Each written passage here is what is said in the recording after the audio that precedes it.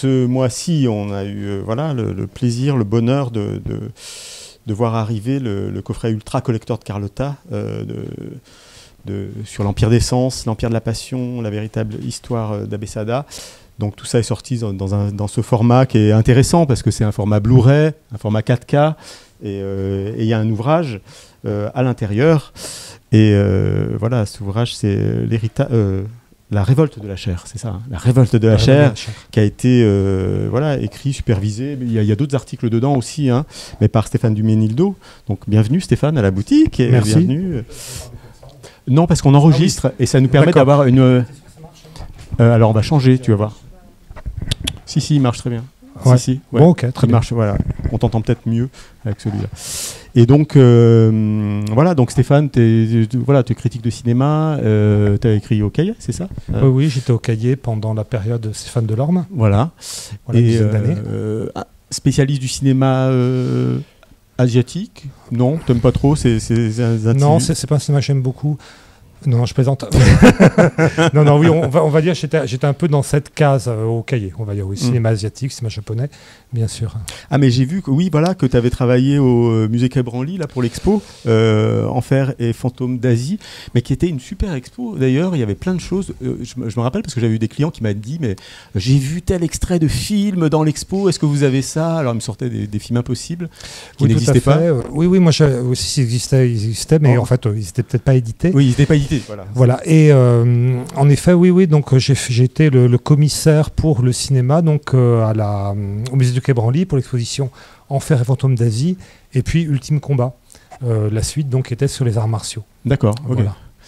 ça va être agréable d'avoir tout un, ah bah espace et puis bah, pouvoir dérouler comme ça. Bah oui, surtout quand on écrit, on est quand même devant son écran d'ordinateur un peu en permanence quand même. Tandis que là, on peut concevoir une, une réflexion quand même sur les films en, j'irais dans l'espace. voilà, presque en 3D en fait, hein, en disant oui, euh, si je passe un extrait là, euh, dans la perspective il y aura cet autre extrait, donc il faut que les deux coordonnent, que ça se juxtapose à la fois l'un côté de l'autre et puis euh, plus dans aussi dans la profondeur. Et ça évidemment oui, ça c'est vraiment une, expérience assez, assez dingue quoi, de, pouvoir faire ça.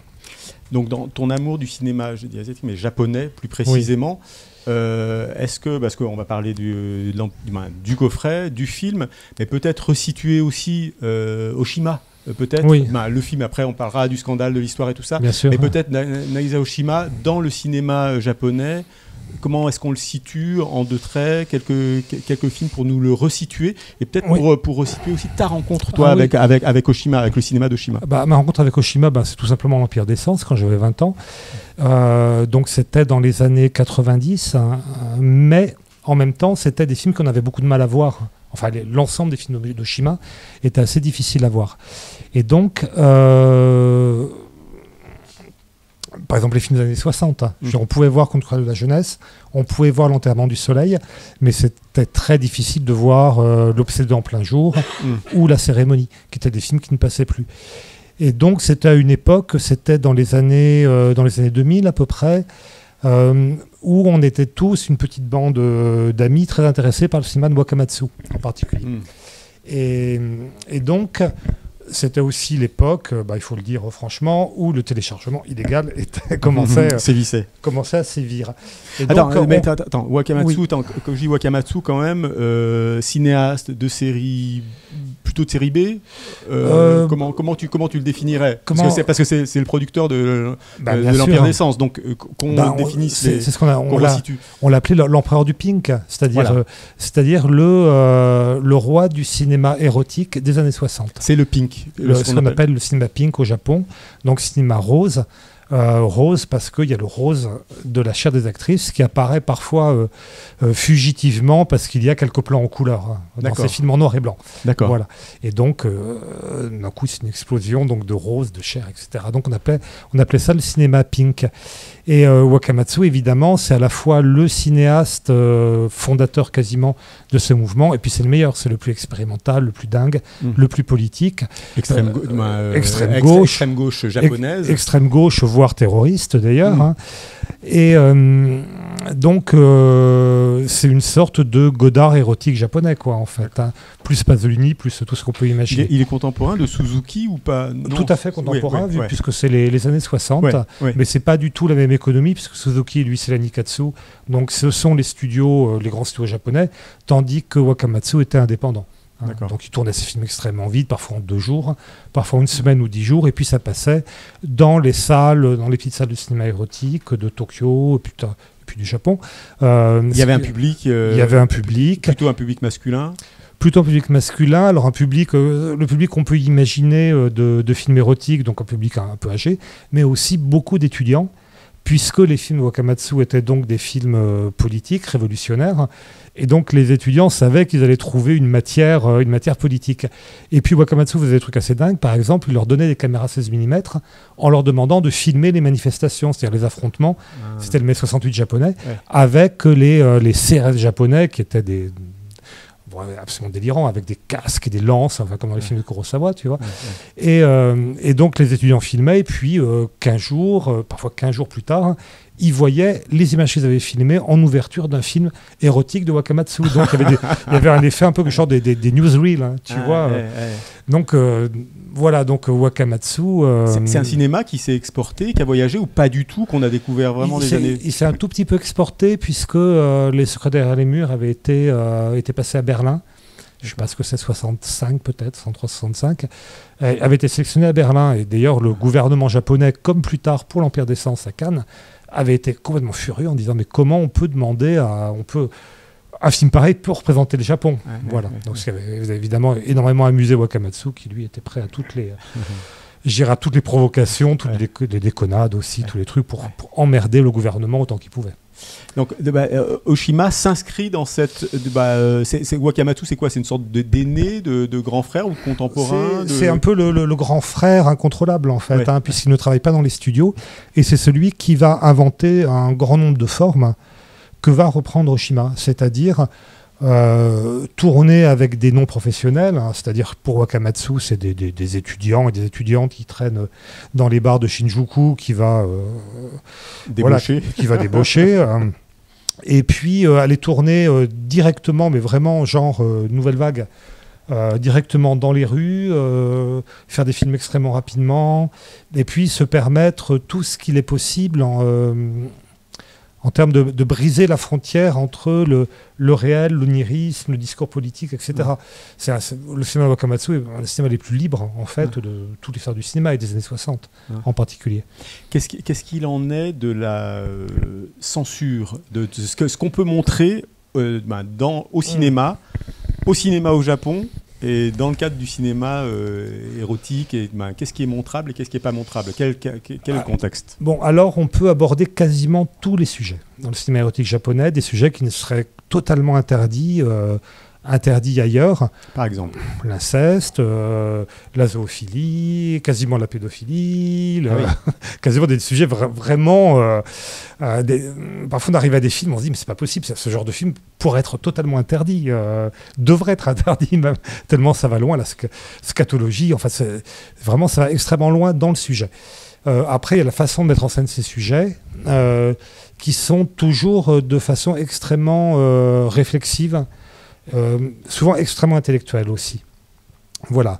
Donc ce sont souvent des histoires de... Euh, mettons, on peut voir un film qui a l'air absolument intolérable sur les, violences faites aux femmes aussi. Mais après, on se rend compte que cette femme va reprendre le pouvoir sur les hommes qui sont mm. de toute façon des sortes d'avortons mm. d'hommes euh, qui sont l'image, mettons, du patron. Mmh, ça, mmh. c'est souvent comme ça chez Oshima, tu vois, mmh. euh, chez, Wakamatsu. Lorsque, euh, mettons, quand l'embryon part braconner, on a un homme qui va séquestrer son employé et lui faire subir quand même une série de sévices, mais ce n'est jamais que euh, l'image que le patron, allégoriquement en général, de l'oppression qu'il impose à ses employés. Mmh. Voilà, voilà, ce sont des choses comme ça. C'est toujours teinté d'une critique sociale. Toujours, euh, voilà, c'est toujours. C'est quelle année quand l'embryon part euh, à peu près? C'est années 65, je pense. Années 60. Euh, par contre, visuellement, il y a quand même des restrictions. En fait, il n'y en a qu'une seule, c'est-à-dire qu'on ne montre pas les organes génitaux. Et les poils pubiens. Et les poils pubiens, voilà. Les poils pubiens. Voilà, c'est tout. et donc, les, les sciences japonais, bon, bah voilà, ont toute une série de, de trucs qui sont quand même assez amusants. Alors, tout se joue avec des des pots de fleurs, des coins de table, des choses comme ça, pour cacher. Euh, ça, c'est vraiment les, c'est vraiment les plus malins, quoi, qui construisent vraiment tout un, toute une composition de l'image de cette façon-là. Et puis, bon, bah, très souvent, il y a des flous aussi. Hein, aussi bon, quand c'est, euh, En fait, ces flous, ce qui est amusant, ces flous ne dissimulent quelque chose qui n'aurait pas été visible. Euh, c'est-à-dire que les, les, sexes des acteurs ont souvent une coque, en fait. Ah. Voilà, donc ce que ça dissimule, c'est pas non plus. Oui, c'est ce qui est déjà caché, quoi. C'est ce qui est déjà caché. voilà, c'est quand même pour pour préserver un peu l'imagination du spectateur. C'est plutôt ça en fait. Voilà. Mais euh, bon, c'est quelque chose qui fait que jusqu'à une certaine époque, le cinéma hardcore, c'est-à-dire avec des vrais plans de pénétration, etc., des choses que les, spectateurs veulent voir, en fait, hein, euh, ce que les, spectateurs occidentaux ont, euh, ont vu, ont voulu voir. Euh, tout ça était impossible au Japon, puisque c'était caché. Oui, mais j'ai l'impression que la, bah, si je pose des questions, c'est qu'on sent bien que la censure et la société, la culture n'est pas la même au Japon hmm. et ressort par des biais complètement euh, bah, qui pourraient être subversifs pour de, bah, chez nous et qui ne le sont pas au Japon, mais par contre des choses que voilà.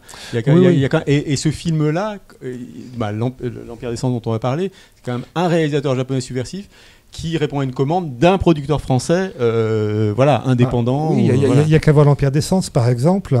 Ce que montre l'Empire d'essence euh, va beaucoup plus loin que ce que pouvaient montrer des, des films porno de l'époque, qui étaient parfois des films qui, dans le propos ou dans ce qui montrait de la sexualité, étaient très innocents, en fait. Hein. Mm, mm. ou, des, ou très vieillots, des histoires mm. de, de soubrettes et de, de châtelains, ou des... Euh, où euh, voilà, une femme va se libérer, elle, va coucher avec 20 euh, types. Voilà, enfin mhm. voilà des, choses où il n'y avait pas vraiment de violence dans l'image mhm. réelle, où c'était des trucs, voilà, les films de, de, de, de, de, Kikoïne, par exemple.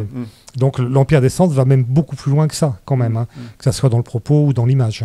Bah, déjà, cette scène, euh, bah, bon, parlons de l'Empire des Sens, mais cette scène où elle croise ce vieil, euh, ce qu'on imaginait peut-être un vieux client qui est, qui est, un peu en voie ah de clochardisation, c'est une première scène, alors qu'il n'y a pas eu, euh, si, il y a eu, il y a eu dans l'embrasure, on a vu peut-être une scène érotique, mais cette scène-là, où on voit les organes génitaux de manière, alors qu'il ne se passe quelque part rien, où euh, on voit son sexe à lui, elle lui montre son sexe à elle, et il y a déjà un rapport qui est quand même ultra. On sent que c'est une pure provocation, qu'il y, a une pure provocation. Euh. C'est une provocation par rapport, parce que bon, Oshima, de toute façon, il a conçu le film. Alors, Oshima, une de ses phrases euh, favorites, c'est tout film doit être un acte criminel, en fait. Voilà, c'est pour ça qu'il représente aussi énormément de faits divers. Ben, ça, c'est une constante dans les années 60.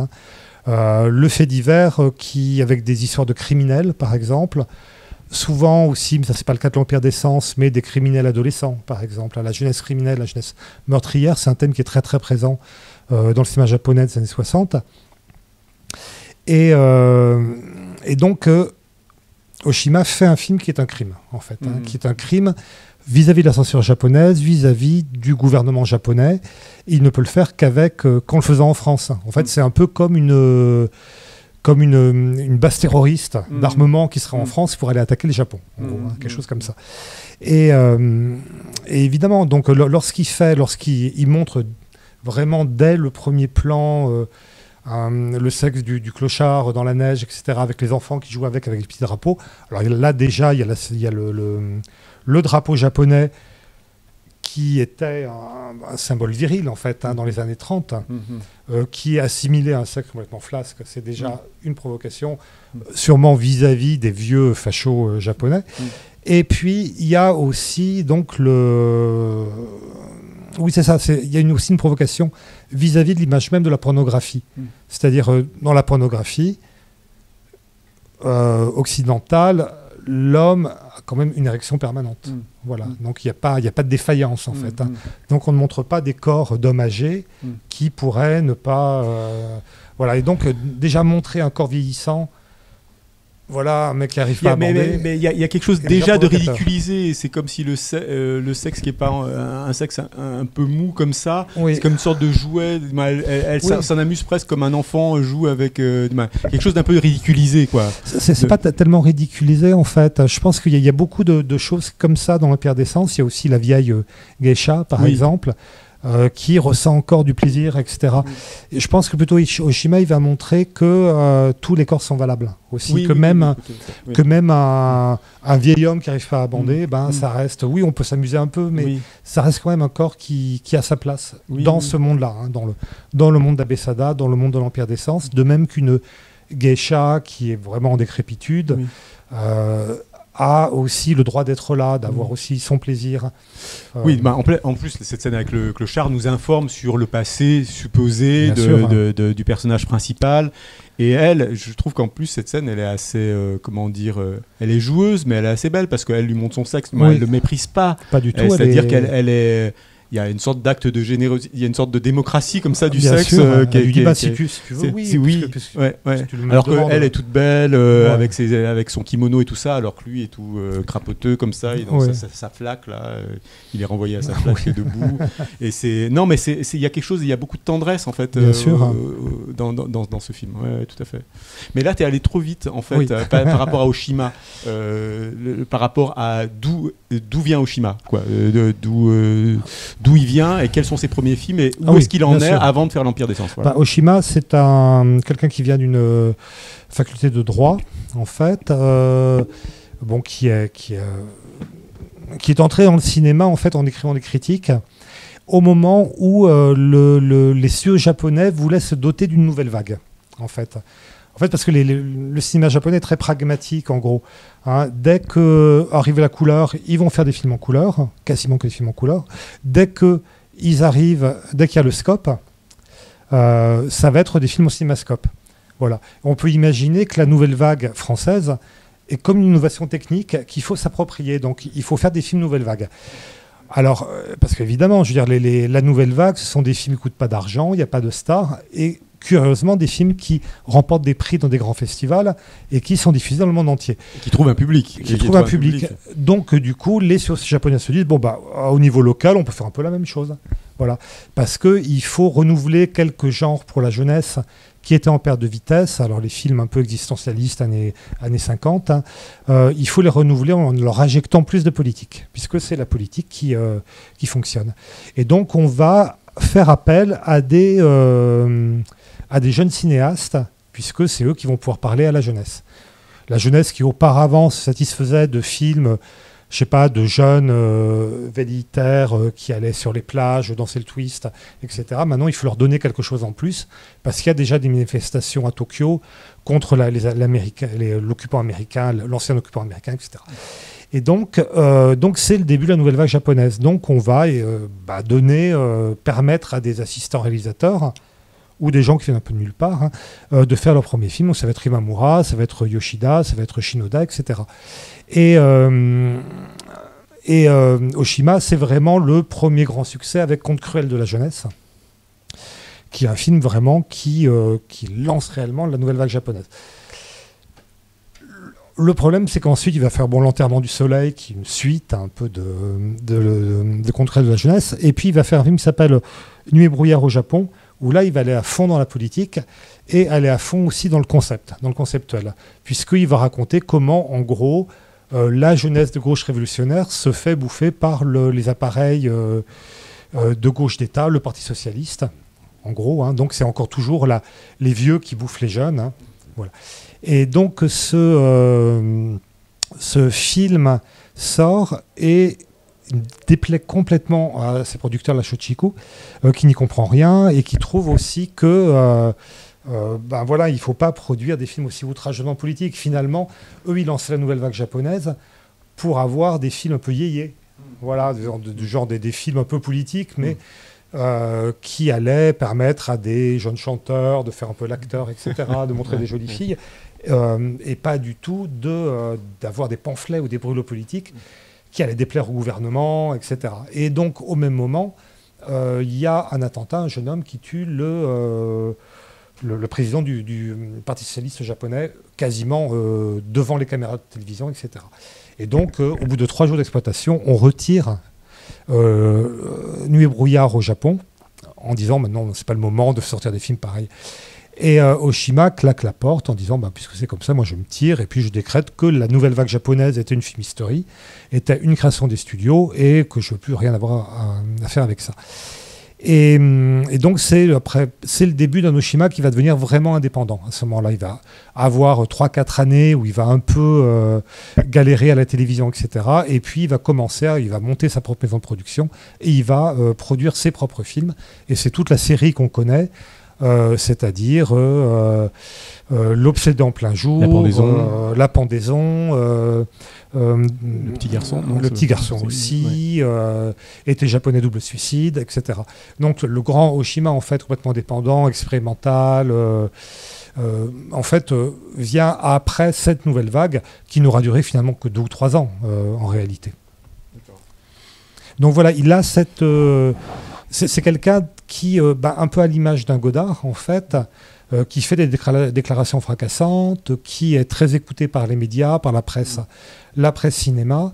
Euh, voilà, qui a un peu cette image-là qui est très politisée. Mm. Donc c'est voilà, donc il a une place très très importante dans le cinéma japonais de cette époque-là quand même. Et puis il va participer à tous les tous les combats un peu. Il va défendre justement les cinéastes pink qui seront, euh, qui auront des procès. Euh, il sera, il défendra euh, Seijun Suzuki lorsque Suzuki se remettra à la, porte de la Nikatsu. donc voilà, donc c'est un. Oui, il prend des positions. voilà. C'est quelqu'un qui se positionne. Toutes les, toutes les grandes causes un peu des années, des années 60, il y participe et surtout celle pour la liberté d'expression qui est sa principale, oui, qui est sa priorité. Et donc, comment, comment, se fait, comment elle se fait cette rencontre avec Anatole Doman alors? Comment, qu'est-ce que, comment euh, Doman, le, il est sur ses radars, il se dit comment, comment est-ce que ça se alors, passe Alors, Doman, Doman, tout simplement distribue euh, les films d'Oshima qui passent à la quinzaine des réalisateurs. D'accord. Euh, comme bah, voilà, Le Petit Garçon, La Cérémonie. donc il est le distributeur et puis donc il croise assez souvent Oshima. Et puis un jour à Paris, comme le cinéma érotique alors connaît un grand succès en France, c'est pas encore le cinéma porno, donc le cinéma érotique connaît un grand succès. Il dit à Oshima, bah, pourquoi vous feriez pas un film érotique euh, pour moi? Voilà, et Oshima, bon, ça l'intrigue, il dit oui, ok. Et pendant quelques années, il commence à travailler. Euh, et donc, euh, Oshima lui, lui soumet plusieurs idées de scénario dont un adapté d'un très grand auteur japonais qui s'appelle Nagai Kafu, hein, le, secret de la chambre, de la petite chambre. Et puis il lui dit il y a aussi une autre histoire, un, fait divers très très célèbre, euh, très très célèbre au Japon, qui est sur une servante qui a euh, tué et masculé son amant, qui était euh, patron d'auberge. Et, qui a erré dans les rues de Tokyo, qu'on a retrouvé complètement voilà. un peu halluciné comme ça. Tout à fait. Et demande lui, bah voilà, c'est ça qu'il faut faire. et, et peu à peu, au fur et à mesure que que Oshima travaille, en fait, quand même, il le met un peu sur rail. Il lui dit ah non, mais je veux pas d'un film euh, euh, conceptuel, genre la cérémonie. Hmm. Euh, il faut vraiment faire du cinéma érotique. Hmm. Et puis arrive le moment où le porno est libéralisé en 75. C'est-à-dire où Giscard dit, ben ouais, si les spectateurs français veulent voir des films porno, ben dans l'optique du libéralisme, je ne peux pas leur interdire. Donc ça, c'est le bienfait du libéralisme. en tout cas, du libéralisme des 70, en effet, on ne peut pas interdire aux distributeurs euh, d'importer les pornos euh, américains qui remportent des succès mondiaux, comme euh, Gorge Profonde, par exemple. Hein, on ne peut pas interdire ça. Et on ne peut pas interdire aux producteurs d'en faire pour gagner de l'argent, on ne peut pas interdire aux spectateurs adultes d'aller en voir. Et donc le. Euh, c'est la, je comprends pas. Alors c'est la législation du X? Non, c'est non, non, pas encore. C'est pas encore. Non, c'est la libéralisation du porno. C'est le moment où il y a euh, des films porno sur les Champs Élysées. Mais il y a euh, des interdictions. Au moins de 18 ans. Oui, mais d'accord, ok. Mais je veux dire, il peut y avoir, je sais pas, un James Bond, un film porno et un Louis de Funès. D'accord. Voilà. sur les sur les façades ben, de, ah. de, de du Gaumont Palace. Du Gaumont Palace, de l'ancien GC Normandie, euh, etc. L'ancien Normandie, donc voilà. Euh, donc le porno est partout à cette époque-là. Et donc, euh, demande dit à, dit Oshima, bah, non, mais maintenant, il faut plus faire un film érotique, il faut faire un film porno. C'est ça qui marche. Ah. Et donc, Wakamatsu, qui n'a jamais vu un film porno de sa vie. Oshima. Oshima. pardon. Oshima, qui n'a jamais vu un film porno de sa vie, dit ben, ok, je vais faire un film porno. C'est ça, en fait, le paradoxe qui est un peu délirant de ah l'Empire des Sens, c'est que c'est réalisé. Parce que bon, si on prend en France, si on prend Francis Leroy, Benazeraf, etc., c'est des gens qui ont vu du porno et qui en font. Enfin, il n'y a aucun problème. Ils ont compris les codes extrêmement vite de ce que voulaient les spectateurs. Oshima, bah, pas du tout, non. Il est, euh, il est à Tokyo, euh, les films porno sont interdits là-bas. Euh, donc, il va réaliser un porno selon ce, ce que lui pense être ah. la pornographie, mais avec sa propre culture, parce que finalement, l'art japonais était aussi un art pornographique. via les, la shunga, les estampes, etc. Hein, donc il a quand même un bagage. Via la La shunga, les, bah, les, estampes érotiques japonaises, ces fameuses estampes que de, de, de de vieux monsieur très raffinés montrent à des jeunes filles euh, en mm. disant Viens voir mes estampes japonaises. Euh, donc, euh, il a. Aujourd'hui, c'est plus possible. Non, non, c'est plus possible. Et, et, donc, il a quand même cette culture, hein, Oshima. et voilà. Et c'est justement ça qui l'intéresse beaucoup, parce que lui considère que la culture érotique japonaise qui vient de l'ère Edo était une culture à la fois populaire, extrêmement populaire, euh, libéré, politique, etc. Et donc, pour lui, l'Empire des Sens va être l'occasion de revenir à euh, une culture d'avant euh, d'avant l'impérialisme, hein, d'avant d'avant la guerre, d'avant le moment où on a transformé l'homme japonais en guerrier, en fait, alors que c'était que l'homme japonais, on va dire l'homme japonais plus que la femme, hein, que l'homme japonais était un libertin euh, qui euh, courait entre les bordels euh, de Yoshiwara, c'est-à-dire le quartier des plaisirs d'Edo, qui aimait l'art, qui aimait voilà, la sexualité, les femmes, la musique, la littérature, et que cet homme, qui était un homme de plaisir, a été en quelque sorte réellement castré au moment où on l'a on transformé en soldat de l'Empire, en guerrier, en fait, qu'on en a fait cette créature euh, dur en fait. Hein, Mais ça, ça c'est curieux parce que c'est précieux d'avoir ces informations-là parce que on ne, bah, euh, on ne réalise pas la, charge subversive du film parce que bah, quand on n'est pas plongé dans cette culture-là, parce qu'aujourd'hui, bon, voilà, on voit un libertin euh,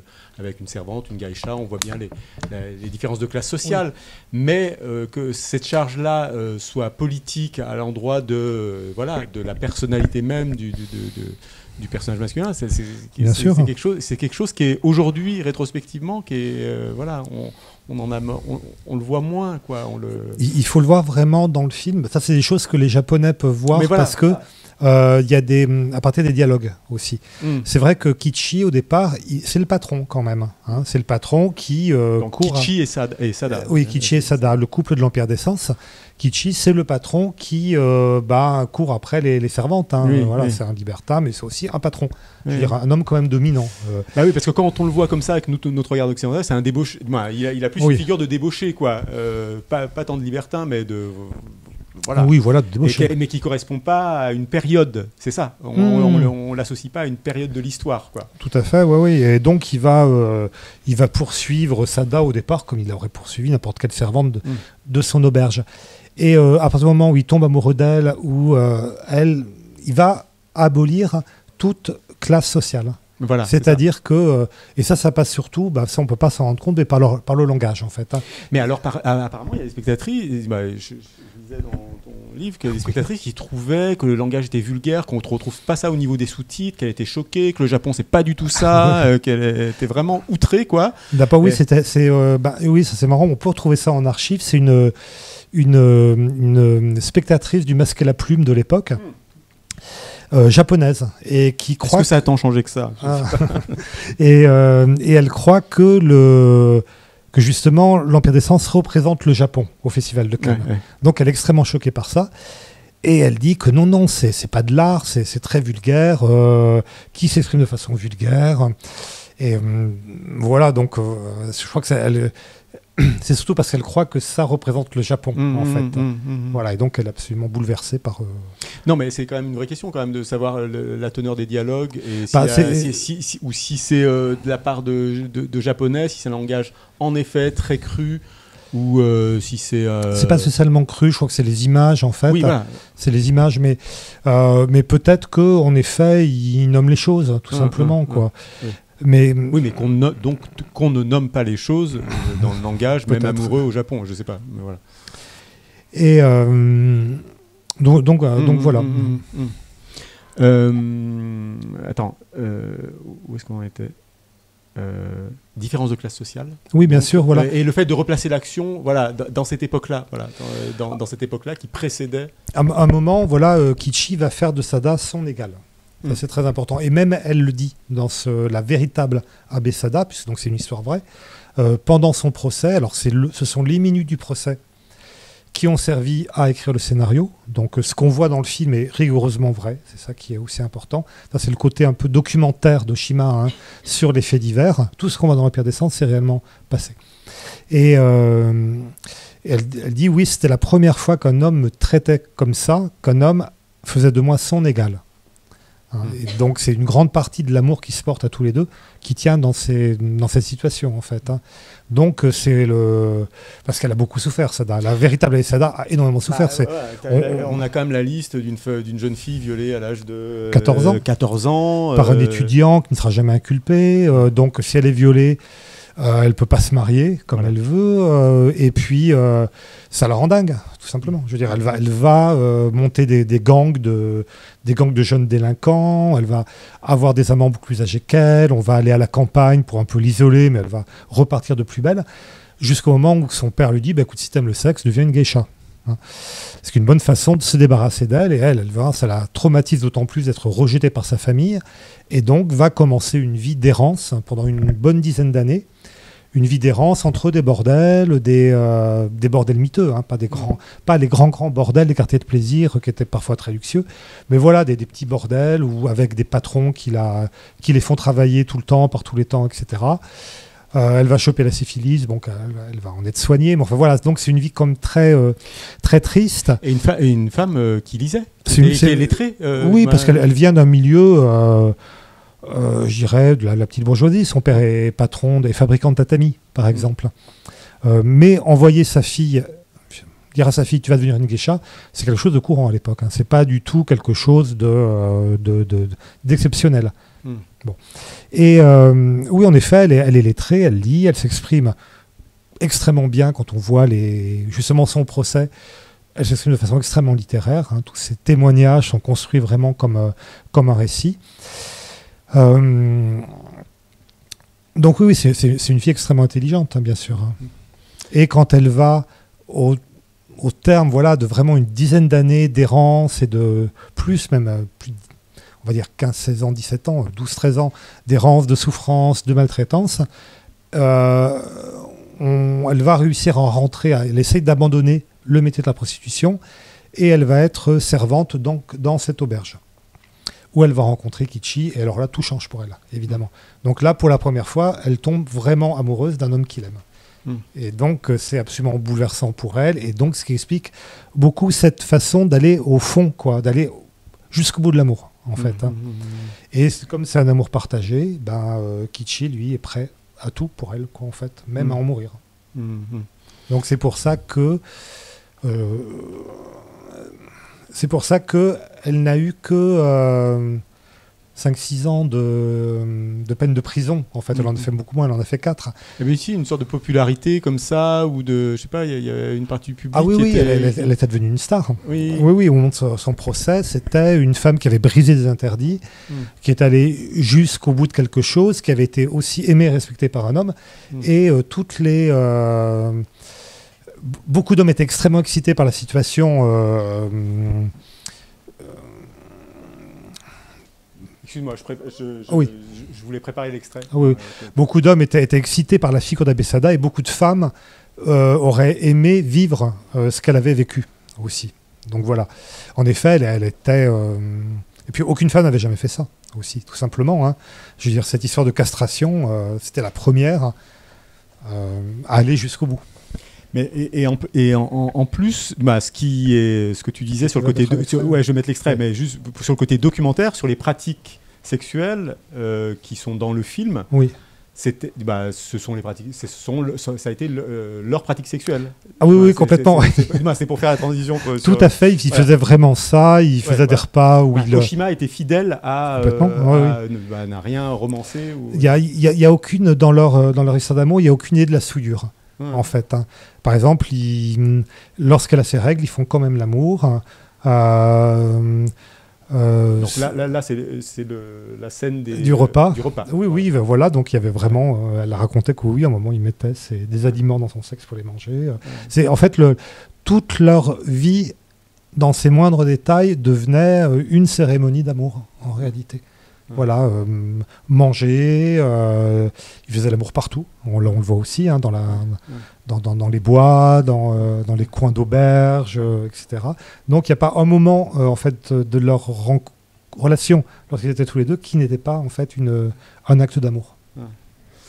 On, montre l'extrait.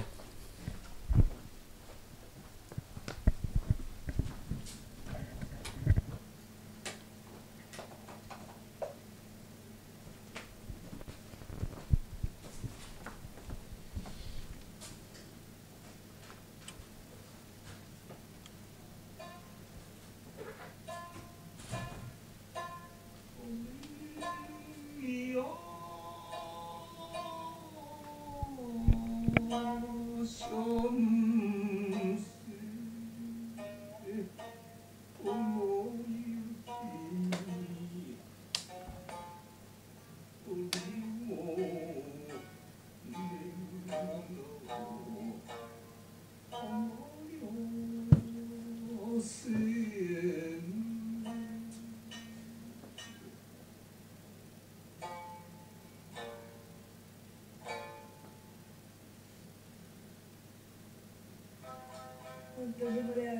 しいたけお刺身をつゆにつけて食べるんだって。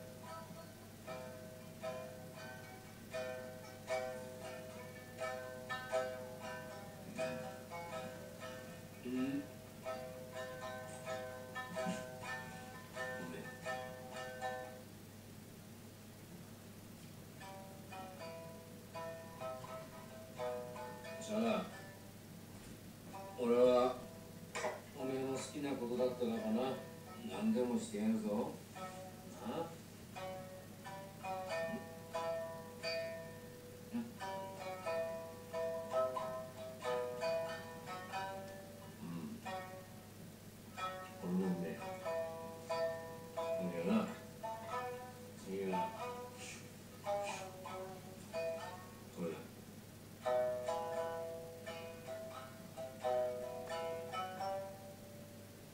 そそは女のキャピタルでおけけに書家書が並んでる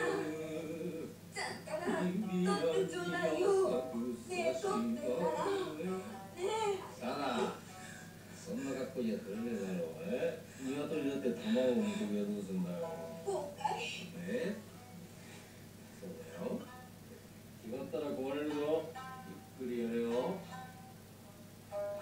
こそぎ選んでこそれだやめなよ姉さんの前じゃないか知るもんかいそんなこと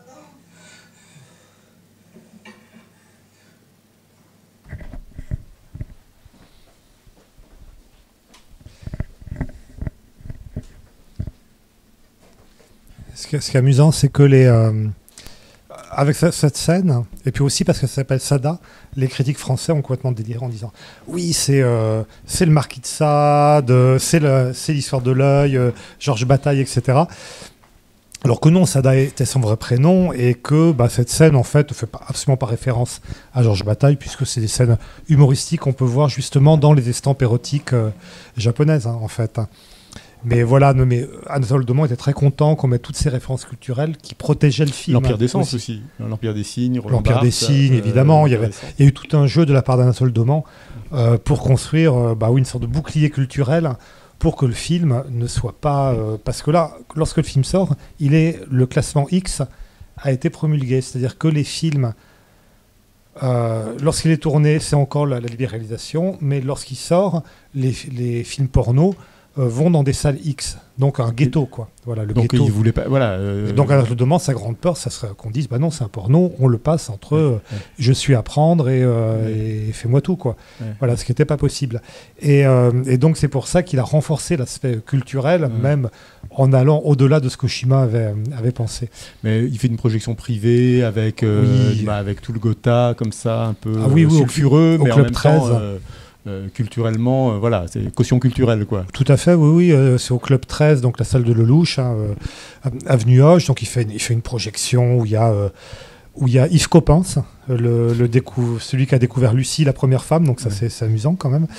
Yves Coppens, il y a euh, Alain Cuny, Hmm. Alain Cuny, bah, Emmanuel, hein, voilà. Euh, mais Emmanuel, mais aussi euh, Paul Claudel, donc Oui, voilà, c'est voilà. quand même. Il y a, euh, je pense qu'il y y a Lacan, Sûrement. je crois qu'il y a Lacan, il était Sûrement. partout. hein. Ah oui. Euh, sûrement, euh, sur, sûrement Roland Barthes. Enfin, voilà, je sais plus. Je sais plus les. J'avais relisté. Euh, euh, Pauline Réage. Pauline Réage aussi, André-Pierre de Mandiargue, qui est vraiment l'érotisme, Gallimard NRF. hmm. Voilà, donc oui, évidemment, il y a, il y a tout un, Mm. un jeu culturel pour, euh, pour éviter à l'Empire des Sens le classement X. Mais en, dans cette scène de la revoyant, je trouve qu'il y a aussi quelque chose qui est intéressant, ce qu'on disait sur les euh, sur l'époque l'époque du film, c'est que moi, quand j'ai vu le film la première fois, quand j'avais 20 ans, j'avais aucune idée de l'époque où le film se passait, Mm. en réalité. Parce que c'est jamais indiqué, on dit jamais 1936, etc. Oui, oui. Euh, et, et là, quand on voit une scène comme ça, c'est absolument intemporel. Ça pourrait Oui, se passer en 1800, 1850, Mm. euh, etc. Et, euh, et donc, euh, Oshima va, va faire un monde hors du temps. Pour, euh, pour ses amants, en fait. hein. On verra la réalité euh, historique du Japon, euh, c'est-à-dire 36, on le verra très, très, très, très peu. On verra un voyage en train, quelques usines, Mm. euh, mais on verra pas ce qu'était... Bon, il y avait une question de budget, mais pas que Mm. ce qu'était Tokyo en 1936, qui était déjà une ville remplie de néons, de, de taxis, de, qui était une ville très moderne, de cinéma aussi. Hein. Abessada, la vraie Abessada, allait au cinéma, par exemple. Mm. Bon, bah, ça, c'est un truc qu'on verra pas. Il a, il a vraiment réduit euh, euh, le monde de ses amants à un, un monde clos et hors du temps, en fait. Ouais, bah, un monde clos, mais c'est pour ça, en le revoyant, je me suis dit, mais qu'est-ce que, bah, qu'est-ce qui, euh, bah, qu'est-ce qui reste de, on pourrait se poser la question, qu'est-ce qui reste de la charge subversive du, du film, et où, plutôt, je, me- je me suis dit, qu'est-ce qui fait que c'est toujours aussi subversif? Et bah, euh, il y, a, il y a quand même quelque chose qui est, qui est quand même très, euh, très fort, je trouve, dans le film, c'est le désir, déjà. Oui. C'est le désir qui est euh, ma source de dérèglement total, quoi. Il est proliférant. Oui, oui. est, il est tout le temps, partout. euh, bah, il est symbolisé aussi par le sexe, euh, son sexe à lui aussi, qui, qui Ouais, ouais. devient une sorte d'enjeu comme ça. Mais il y a du désir en permanence. Et ce qu'il y a, c'est que c'est du désir. C'est pas seulement, ils sont pas seulement tous les deux dans leur chambre. C'est-à-dire qu'il y a un regard, il y a le, le regard de la, il y a toujours le regard social qui est là. Ouais. Euh, le regard de la femme, sa femme à lui, Oui, euh, oui. ou par des bruits, ou par. Mais il y a toujours un regard qui va être évidemment un regard jugeant, ou euh, qui va être complice, ou ça, mais il y a quand même toujours la société qui est spectatrice de ça et qui leur fait ce retour, mais genre. Euh, vous êtes, euh, vous, vous êtes euh, infréquentable, vous êtes, Oui, ce que oui. vous faites est dégueulasse. ne dis pas excellent, mais et je, trouve que le film a sa- cette force-là incroyable. Encore aujourd'hui sur ces points-là. Oui, oui. Y a... et, et puis, c'est pas un film, malgré la fin, c'est pas un film sombre, en fait. Ah non, pas du tout. Euh, on n'est pas, je sais pas, c'est pas le dernier tango à Paris, par exemple, Oui, pas oui, du tout. C'est pas toute cette série de films Mm. euh, qui a eu, euh, en s'inspirant peut-être de Bertolucci, peut-être Mm. de peut-être d'Oshima, qui ont aussi représenté des couples dans une Mm. sorte d'autodestruction sexuelle. Je pense à certains films de Breya, par exemple. Mm. Voilà. Et, euh, mais qui vont toujours vers une. qui ont toujours quelque chose d'un an- anéantissement, malgré tout, de l'un ou l'autre des participants. Euh, souvent de l'homme, quand c'est des, des films plutôt féminins, enfin bon, bref. Mais euh, en fait, c'est pas du tout le, le propos de l'Empire des Sens, où c'est des personnages qui, qui aiment avoir du plaisir, en fait, qui rient énormément. Oui. En fait, Oui. hein, qui parlent, ils n'arrêtent pas de parler. Alors ça aussi, Mais ils font l'amour, ils parlent en permanence. Attends, mais attends, je t'interromps parce Oui. qu'il y a quand même. bah, Parle-nous du choix de ce comédien, qui est quand même, c'est quand même un choix très surprenant.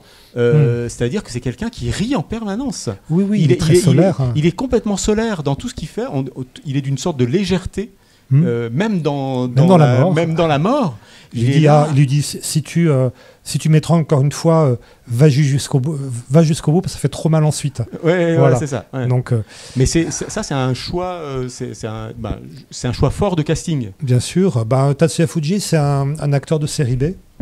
Bon, il était très connu pour beaucoup de rôles de, de yakuza, mais il n'avait pas de, il n'était jamais vraiment passé au premier plan il commençait à, vieillir, il avait 35, 36 ans, et puis il se dit, bon ben voilà, ma chance de devenir une star s'éloigne un peu. Euh, et dès qu'il a le scénario de l'Empire des Sens entre les mains, qui était passé quand même, euh, Oshima avait fait beaucoup de casting, mm. avec pas beaucoup de succès mm, quand mm. même. Hein. En plus, il se heurtait à des problèmes liés peut-être à l'homme japonais euh, des années 70. Euh, des acteurs qui étaient un peu gênés, qui disaient oui. Euh, par rapport à la virilité, quoi. Par rapport à la virilité, bien sûr. en clair, en clair, et, puis qui était gêné par Oshima lui-même parce qu'il disait euh, non, mais en fait, si vous êtes dans une pièce, c'est Oshima, vous êtes tellement sérieux que je peux pas bander, en fait. voilà, c'est ça. C'est vrai quand on voit la tête d'Oshima avec ses costards, ses machins, c'est vrai qu'on peut comprendre quand même que ce soit un peu difficile.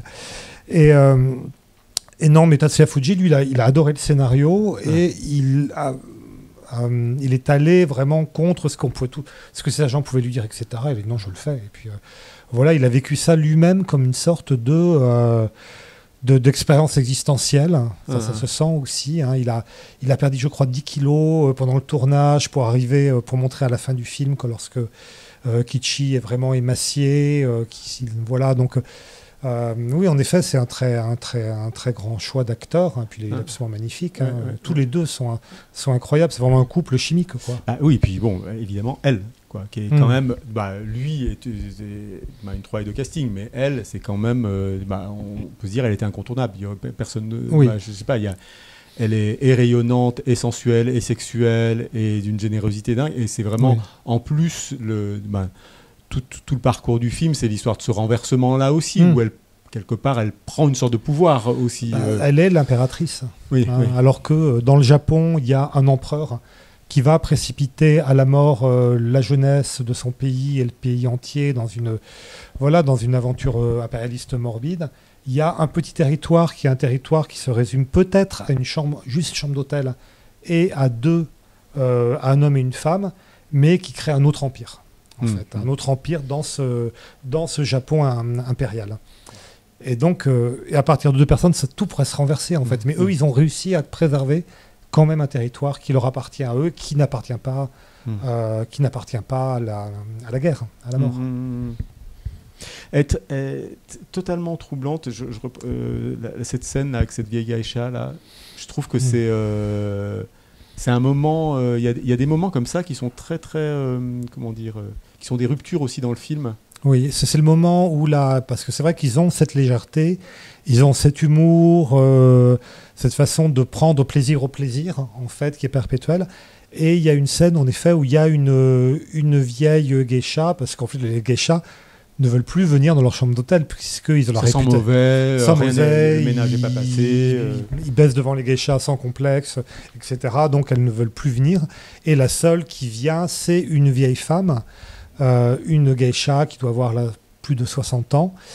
Et, euh, et euh, Sada va mettre au défi Kichi de faire l'amour avec elle. Et donc cette vieille femme va quand même ressentir du plaisir, mais elle va tomber dans une sorte de syncope. elle va pisser sous elle et puis elle va être quasiment morte. Et puis Kichi va Il y a l'ombre de la mort qui est déjà là, qui plane. Quoi.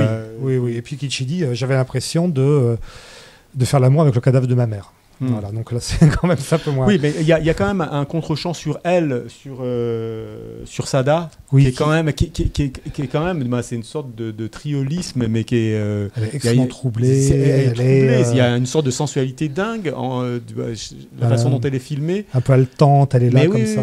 c'est très animale. C'est une, une, scène très déstabilisante dans, dans leur couple.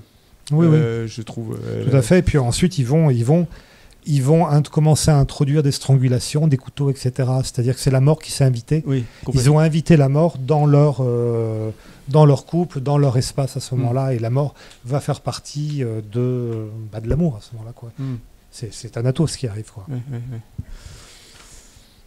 Non, mais c'est... oui. vos, vos, questions, vos retours, euh, votre Empire d'essence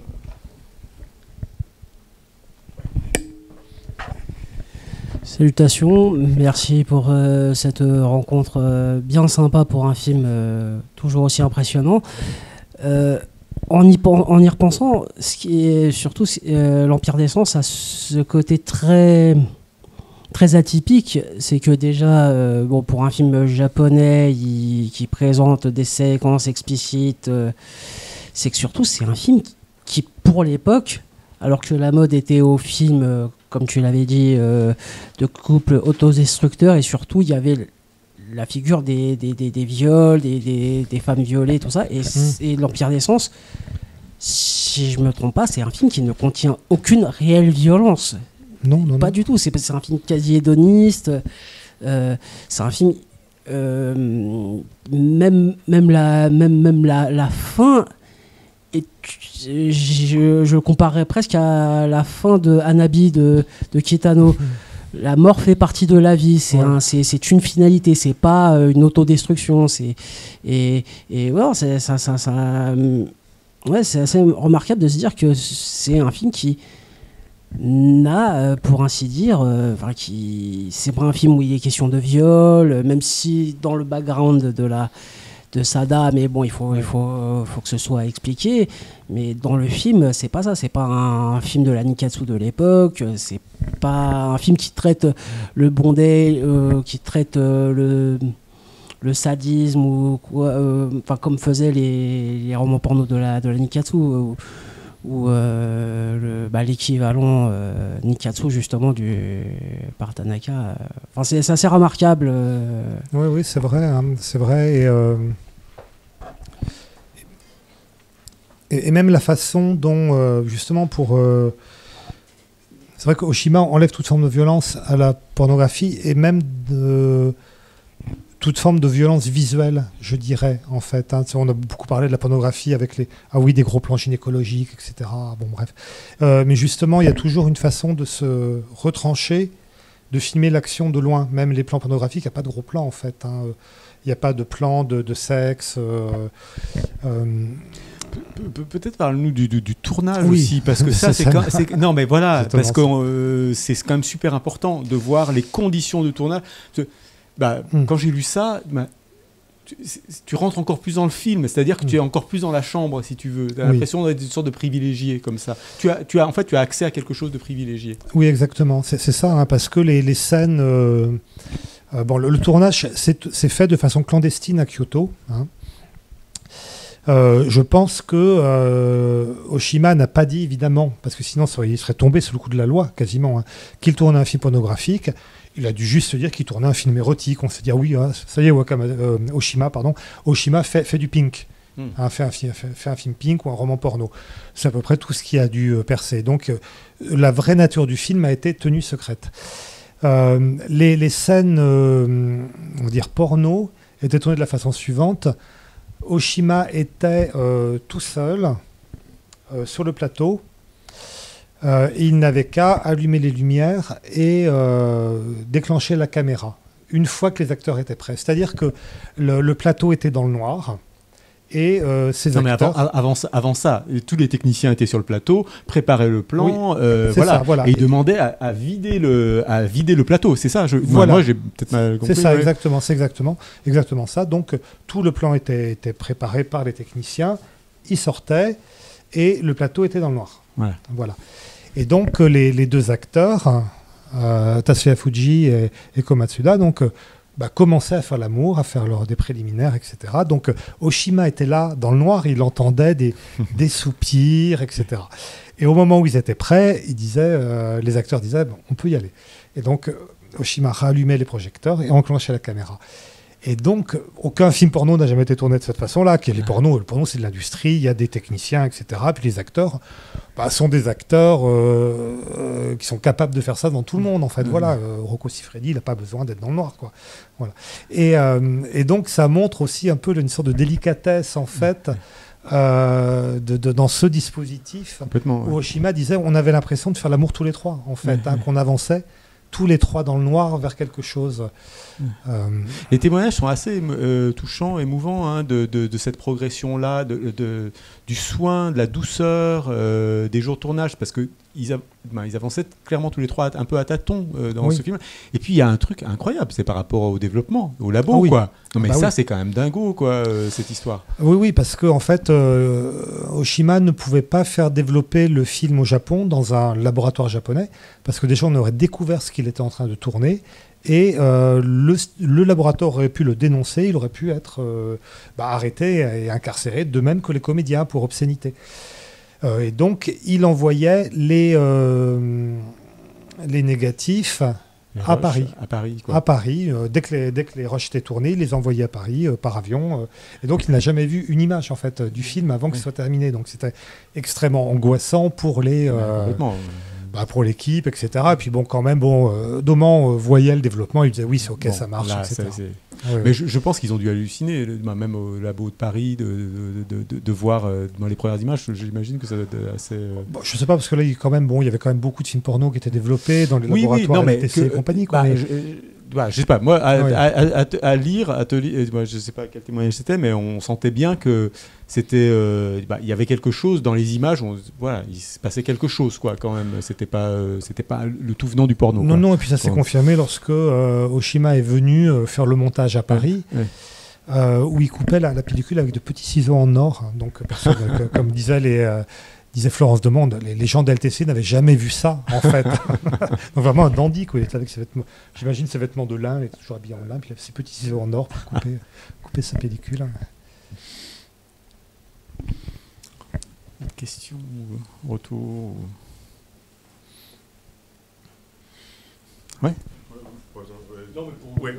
Euh, c'est pas vraiment une question, c'est plus euh, faire parler sur un sujet que vous aviez commencé un petit peu à aborder tout à l'heure, c'est que je trouve intéressant, c'est la perception du film au Japon et en France, et alors avec des choix euh, de- du titre et la traduction, sans trop pépiloguer. euh, les grandes différences font que, à ma compréhension, quand le film sort au Japon, tout le monde connaît l'histoire d'Abesada.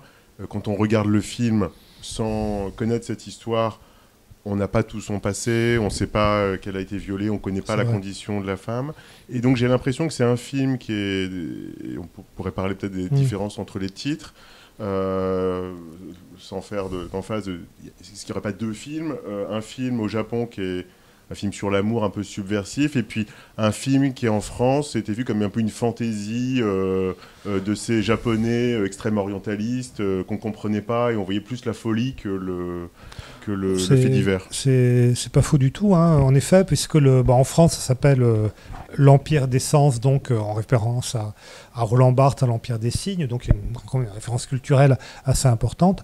Euh, au Japon, c'est Aino Corrida, qui était d'ailleurs un titre qui avait été suggéré par le producteur, donc l'amour est, amour- l'amour est une corrida, donc avec l'idée amusante que bah, voilà, on coupe les, testi- voilà, du taureau, quoi, et qu'on va abattre le taureau japonais qui est euh, bah, cet homme viril japonais destructeur. Voilà. Euh, tandis que, oui, en, en, en effet, euh, tous les Japonais connaissaient l'histoire d'Abesada, ça c'est vrai. hein. et donc en France, c'était une figure euh, totalement inconnue, et c'est vrai que bon, ça, ça avait le. C'est pour ça qu'il y a eu toutes ces références à Saad, à Bataille, du côté français, hein, pour euh, en faire un objet culturel. Peut-être, oui, en effet, un peu exotique, alors qu'il n'était pas si exotique que ça au Japon. Mais finalement, au Japon, il est, il est, il est, pas- il est quasiment pas sorti. C'est ça aussi le.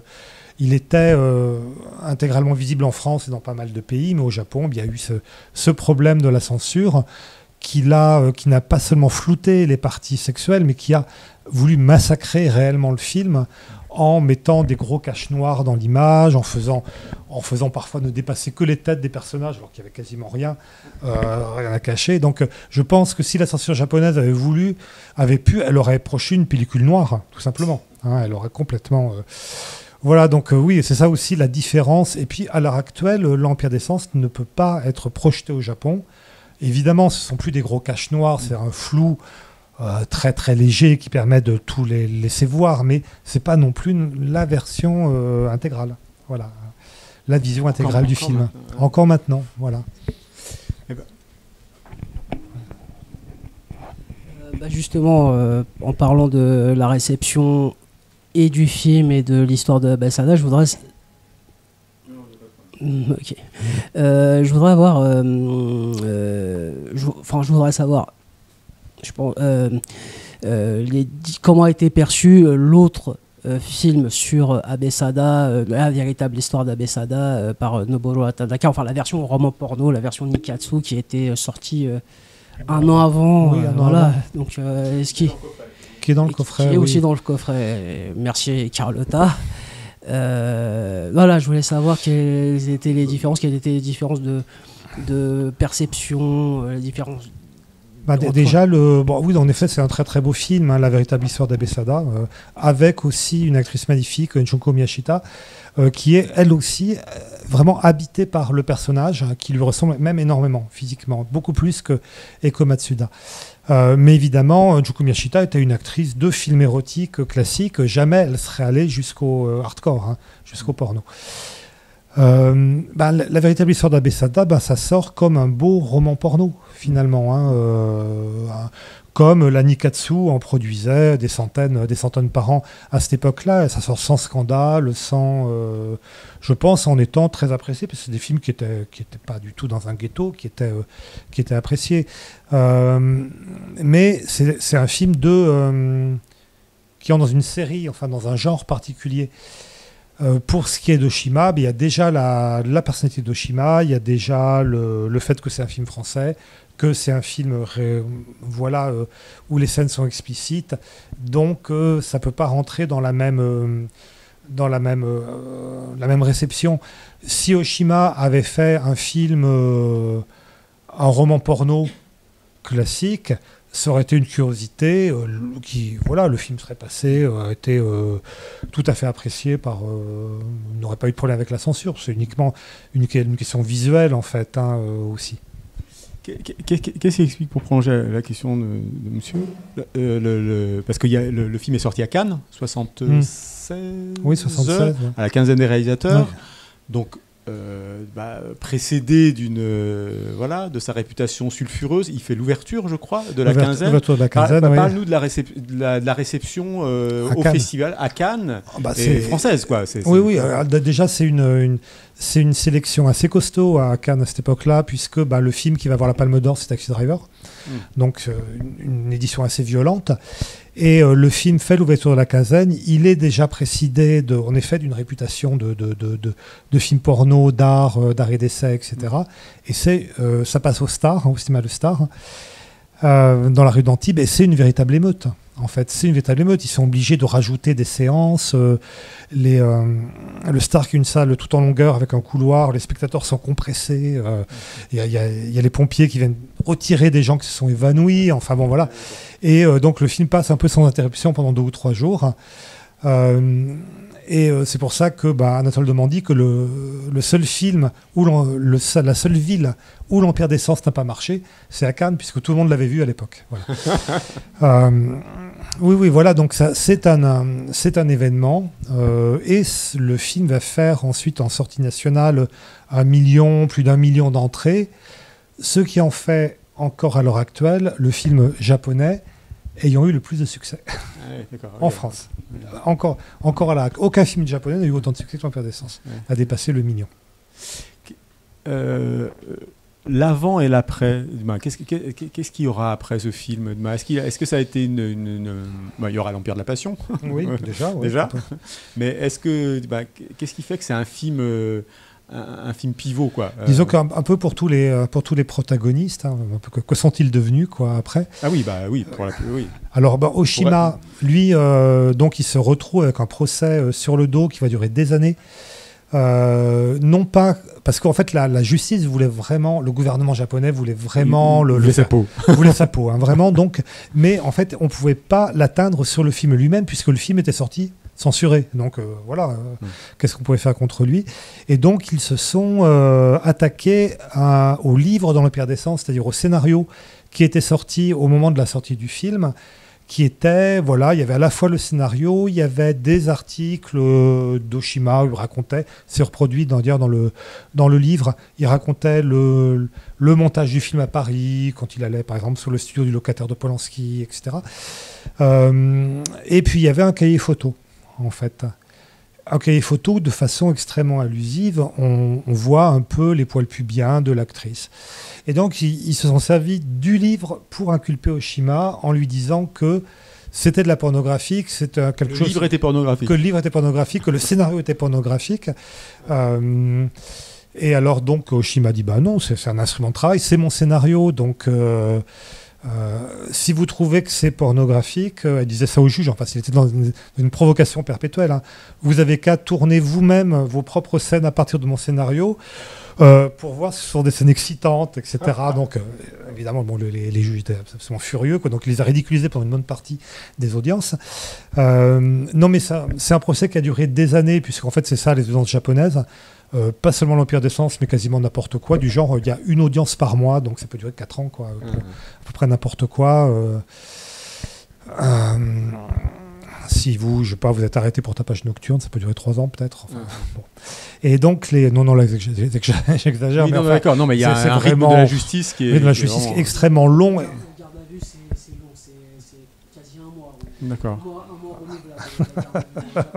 Par- Tu parles d'expérience ou de- Je sais pas. Je ne sais pas.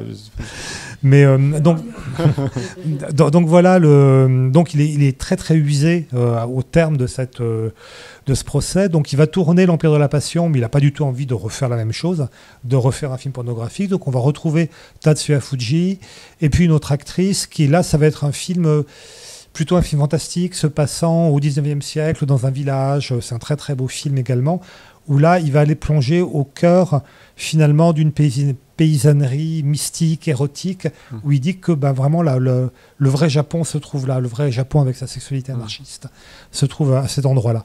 Et puis ensuite, après l'Empire de la Passion, Bah, c'est int- c'est intéressant de voir euh, comment Oui. de, de- de- de- comment dire de voir la société sous l'angle du sexe quoi voilà. de, de se dire euh, de, de prendre le traditionnel de, de- ce qu'il y y a de presque de plus conservateur et de- de- de- d'aller d'aller chercher d'aller creuser moi je sais pas Oui, c'est une sorte de, de réactionnaire sexuel d'avant-garde, je ne Ouais, sais ouais, pas comment, ouais, je sais ouais. pas comment dire. Oui, en effet, il, il veut- retourner, mais de toute façon, il veut retourner avant euh, l'industrialisation du Japon, avant euh, l'impérialisme, avant la guerre, etc.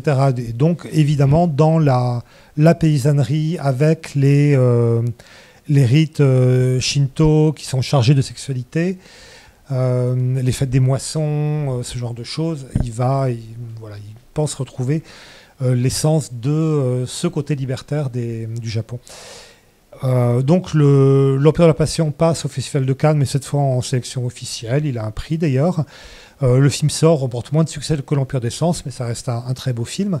Et puis, ben, en 82, va arriver aussi un de ses plus grands succès, qui est Furio, avec euh, Sakamoto, enfin Ryuichi Sakamoto et David Bowie. Alors là, c'est produit. Kitano, oui. Kitano aussi. C'est produit à nouveau par l'étranger, vu que c'est Jérémy Thomas, donc un, un producteur anglais. Euh, le film, alors on est à la période la plus haute de David Bowie, puisque c'est Let's Dance. hein. Ouais, Euh, donc le film remporte un succès, euh, Ouais. un succès mondial. Ça ajoute un nouveau personnage à Bowie, qui est le Major Cellier. Donc moi j'ai toujours imaginé voilà, Major Tom de Space Oddity, et puis euh, Major Cellier, puis ça permet à Bowie aussi de se replacer comme acteur anglais aussi, hein, dans la tradition un peu Peter O'Toole, Oui, Terence oui, Stamp. oui, mais là, bon, euh, je, je pourrais parler encore trois heures de David Bowie, euh, de ses rôles au cinéma, donc j'arrête. Et, euh, et puis il y a Sakamoto, donc deux rockstars. voilà, donc Sakamoto qui joue un, un jeune officier de l'Empire, mais, euh, mais maquillé. C'est ça qui est génial aussi, qui est maquillé, qui a un maquillage. Et puis, tandis que Bowie, on lui a pas, on l'a pas laissé se maquiller, mais on lui a permis de faire un peu de mime quand même, hein, ce qu'il adorait. Il a deux ou trois moments de mime qui sont un moment de mime qui, est- qui est pas mal. Donc voilà, euh, le Furio est un énorme succès couverture de studio et compagnie, quoi, de première.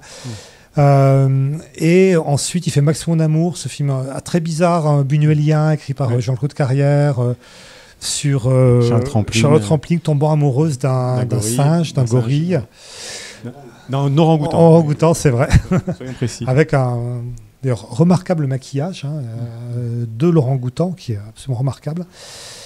Et puis, euh, et puis ben, Oshima arrête plus ou moins le cinéma par des raisons de santé, essentiellement. Puis il travaille beaucoup à la télévision. Il, il fait des, il- à la télévision, il, il anime en quelque sorte Aujourd'hui Madame, en fait D'accord, à la télévision japonaise, c'est-à-dire que des japonaises, euh, comme il, je sais pas, comme peut-être à, à cause de l'empire des sens, donc il est devenu un spécialiste de, de la femme. Et donc, des, des gens viennent, des femmes viennent lui dire Monsieur Moshima, j'ai ce genre de problème, etc. Euh, ben, il leur répond, il les, il les conseille. Voilà, c'est- Mm. donc, euh, il gagne assez bien sa vie en faisant ça, mais il fait pas beaucoup de, il fait pas de films. Et puis, il a une, euh, un AVC qui le laisse hémiplégique. Et puis, il, il dirigera Tabou depuis un fauteuil roulant. Quoi. Mm, mm. Et Tabou, euh, donc dans les années 90, devient son dernier film. Voilà. Donc, finalement, après l'Empire des Sens, où Oshi- où Oshima devient euh, le réalisateur japonais, le plus- un des plus célèbres au monde, en fait. hein. D'un Mm. coup, avec un film, il devient aussi célèbre que Kurosawa, par exemple. hein. Alors qu'avant, c'était un cinéaste d'arrêt essai, c'était un cinéaste du, du je sais pas, du Balzac, du Saint- Saint-André des Arts. C'était euh, Ong Ong Sang-soo. Même, il était peut-être moins connu qu'Ong Sang-soo, peut-être, parce qu'il n'y avait pas avait pas les médias hein, euh, qu'il y a maintenant. Mais voilà, c'était ça. Oshima, c'était pas du tout un, voilà. Et donc, il va devenir le cinéaste japonais le plus important, en tout cas, de cette année-là. Et euh, Eko Matsuda va devenir l'image de la femme japonaise. C'est-à-dire quand on va re- montrer le Japon et une femme japonaise, on montrera euh, une photo de l'Empire des Sens et d'Eko euh, Matsuda. Euh, toujours dans le un peu que sont-ils devenus bah, Tatsuya Fuji, lui, après le scandale de la sortie au Japon du film. alors je, je reviens un peu en arrière quand j'ai dit que le- l'Empire des Sens n'avait jamais été projeté de façon intégrale au Japon. Si il a été projeté une fois devant 50 personnes à la douane japonaise. voilà, avec les douaniers, avec Donc les seuls douaniers. etc. Voilà. Ce sont les seuls qui ont vu euh, l'Empire des Sens en intégrale sur le sol japonais.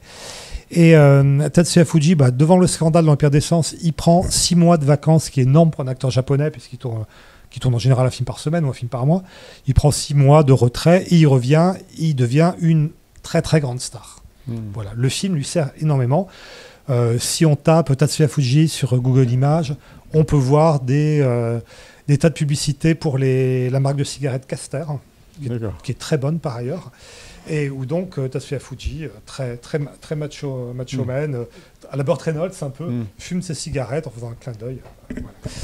Euh, Le film n'a pas entamé son capital. euh, Non, non, pas du tout. Ça l'a vraiment renforcé. Euh, et euh, Mais elle, par contre, elle, et- elle, elle, elle n'a plus. ben, euh, Et elle- oui, c'est ça, pas vraiment ça- pas vraiment le- tourné, j'ai l'impression. C'est le côté triste de l'histoire, hein, c'est où la différence de l'appréhension des genres et des sexes au Japon, bah, là, est tout à fait criant. C'est que autant euh, Tatsuya Fuji, lui, euh, voilà, devient une homme star, ce qu'il voulait, hein, ce qui était son but, autant la pauvre Eko Matsuda, elle se fait vilipender euh, partout. euh, si elle sort dans la rue, euh, il y a des femmes qui lui crachent dessus en la traitant de pute. Enfin, je veux dire, sa vie devient complètement infernale.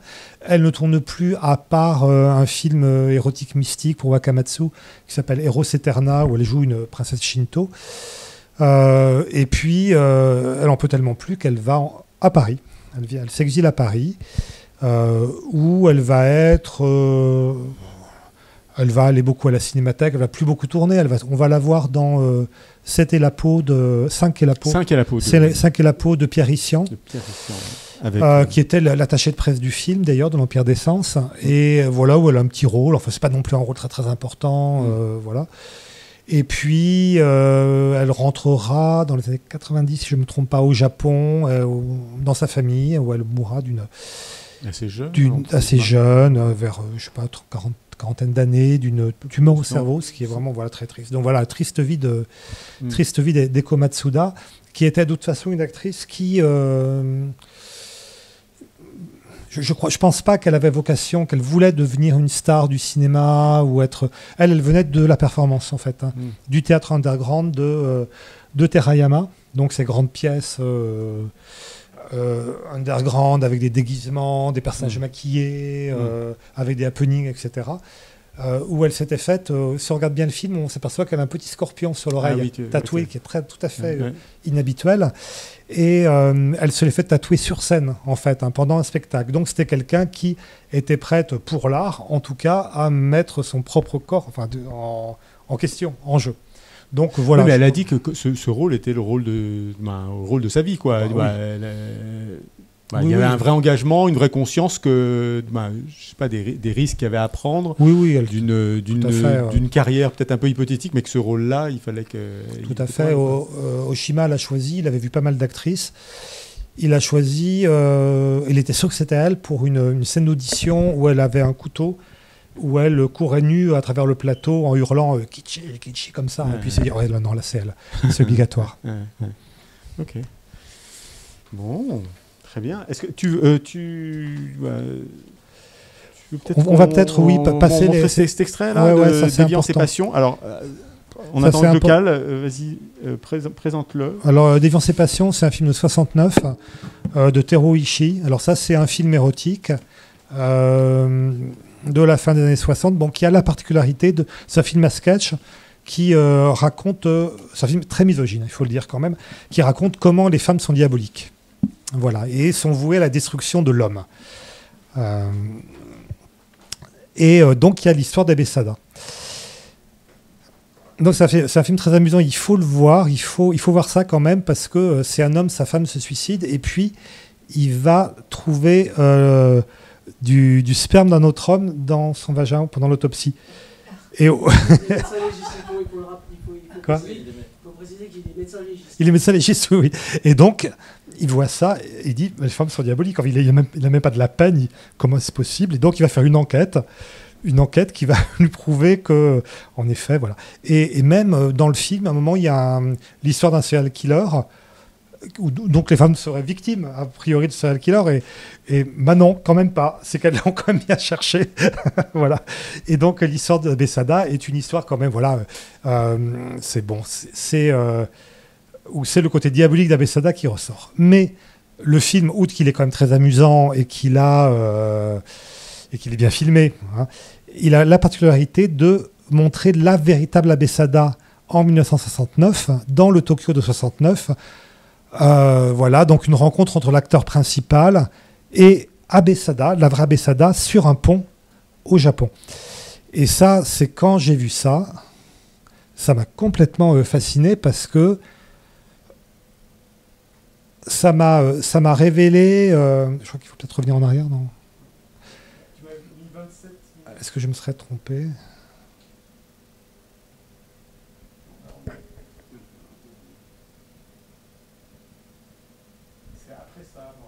Hein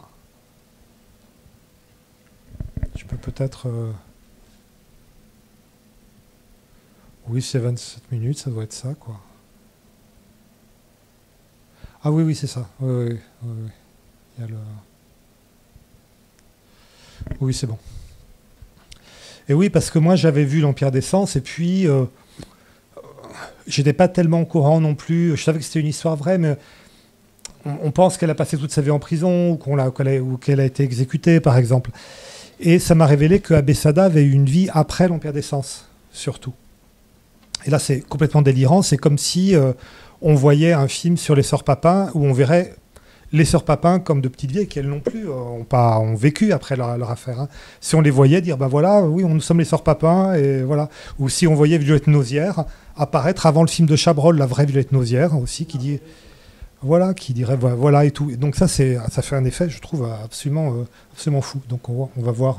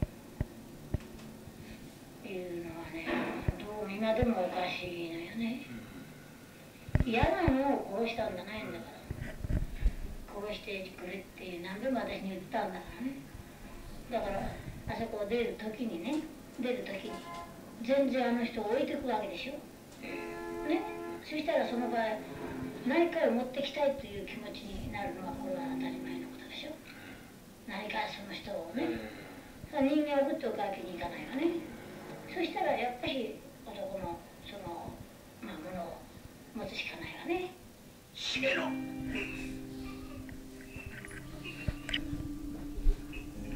Donc voilà, donc elle, elle donne la, la solution, hein, aussi les- l'explication de l'émasculation de, de Kichi.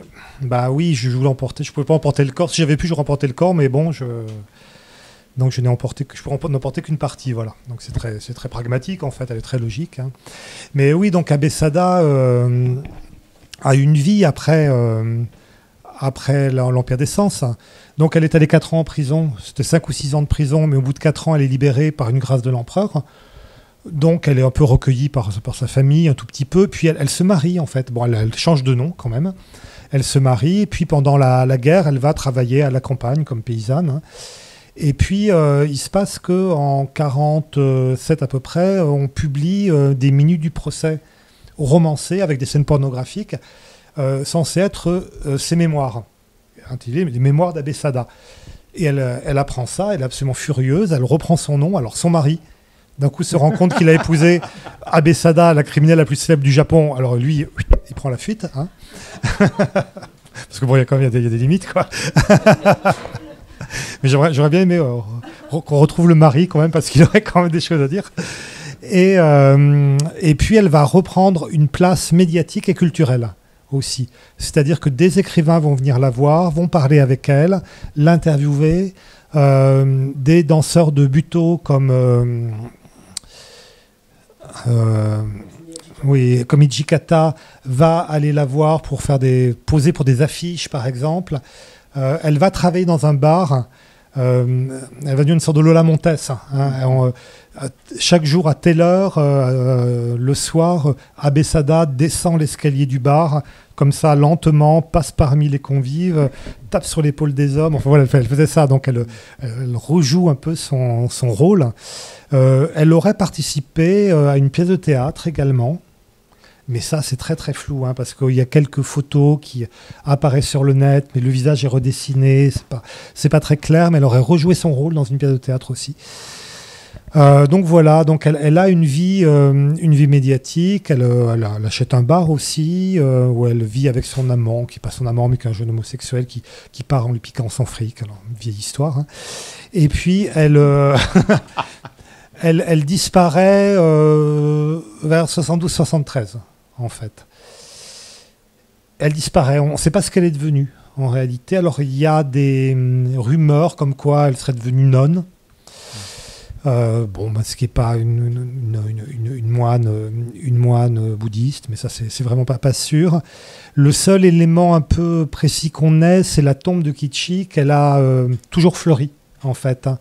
Elle a toujours demandé à ce que la tombe soit entretenue, et euh, la tombe a été fleurie jusque dans les années 80, en fait, hein, 82-83. Donc, euh, ça montrerait que quelqu'un peut-être envoyé encore de l'argent, puisque la famille ne voulait plus du tout entendre parler de ce couple.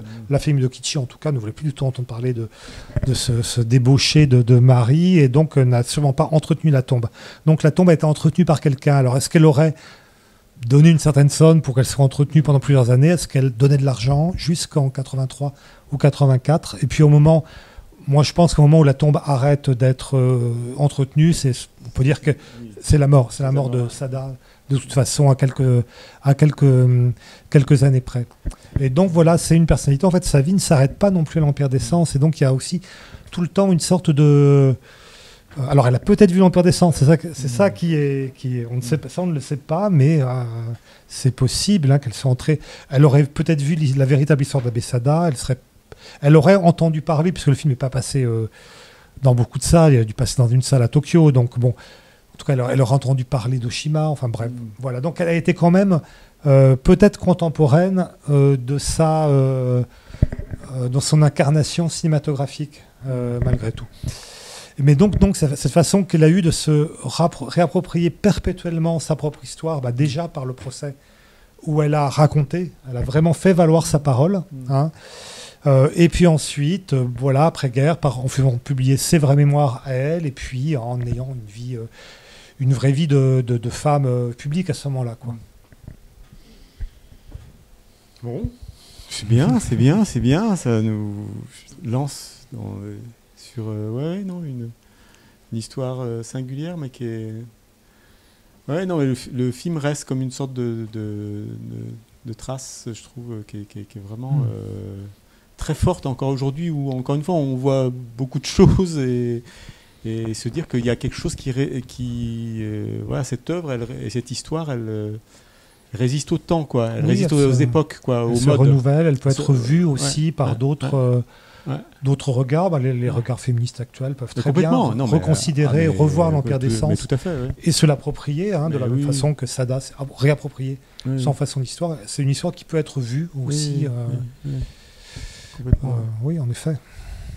Bon, un grand merci Stéphane. Bah, merci, merci. beaucoup, merci beaucoup. Merci à Potemkin. Merci à vous. Donc on a le coffret qui est en vente évidemment, voilà.